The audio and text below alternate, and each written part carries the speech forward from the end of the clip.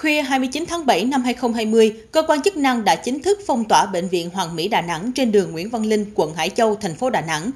Lực lượng chức năng đã rào chắn ở các cổng của bệnh viện trên đường Nguyễn Văn Linh và đường Nguyễn Văn Nghị.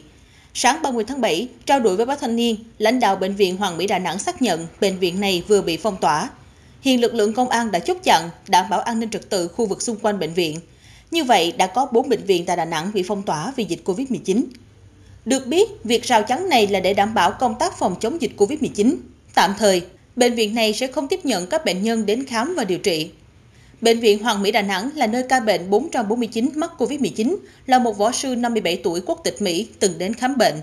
Theo báo cáo từ Bộ Y tế, bệnh nhân 449 nhập viện vào Bệnh viện Hoàng Mỹ Đà Nẵng từ ngày 27 tháng 6 đến ngày 6 tháng 7 với triệu chứng bệnh viêm phổi nặng, tràn khí màng phổi. Bệnh nhân có tiền sử viêm phổi trên 10 năm. Từ 18 giờ ngày 6 tháng 7 đến 18 giờ ngày 20 tháng 7, bệnh nhân tiếp tục khám và điều trị bệnh viêm phổi, tràn dịch màng phổi tại năm khoa của Bệnh viện Đà Nẵng, gồm khoa cấp cứu, ngoại lồng ngực, khoa hồi sức tích cực chống độc, nội hô hấp và khoa quốc tế. Từ 18 giờ ngày 20 tháng 7, bệnh nhân cùng người yêu thuê xe cấp cứu của Trung tâm cấp cứu 115 từ Bệnh viện Đà Nẵng vào Bệnh viện Chợ Rẫy tại thành phố Hồ Chí Minh. Sau đó, bệnh nhân chuyển sang Bệnh viện Quốc tế City cũng tại thành phố Hồ Chí Minh.